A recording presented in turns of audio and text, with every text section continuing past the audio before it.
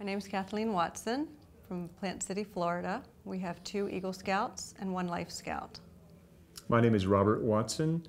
Uh, we have been serving in the Boy Scouts for over 10 years. I served as troop committee chairman and also as a charter organization representative. Our concern as a homeschool family is, you know, we chose homeschooling because we're concerned about, especially at a young age, what stuff goes into our children. You know, we want good stuff in, to go into them, and we want to keep them away from bad stuff. Um, our concern is, you know, it goes. This goes in line with with what we do as homeschoolers. You know, we want to make sure that our kids are exposed to what we think is good, strong moral leadership, and we feel like this is is totally against what we what we believe in. If this policy goes through, uh, as a family, we will disassociate ourselves from the Boy Scouts.